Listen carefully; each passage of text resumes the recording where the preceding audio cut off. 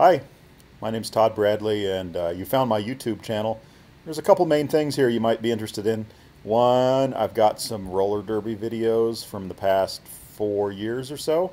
Two, I've also got some of my short films. So they're separated into a couple different categories. Look around, you might like them both.